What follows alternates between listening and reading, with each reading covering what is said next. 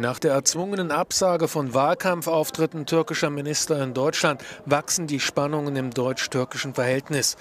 Der türkische Staatspräsident Recep Tayyip Erdogan bezeichnete den inhaftierten Weltkorrespondenten Dennis Yücel als deutschen Agenten und warf Deutschland Unterstützung des Terrorismus vor.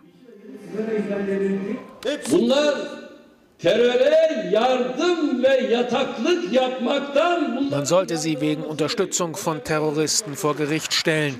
Die Lage ist offenkundig. Jetzt fragen Sie uns, warum macht ihr so einen Aufstand daraus? Warten Sie ab, wir haben erst angefangen. Wir werden auf internationalen Treffen alles aufdecken.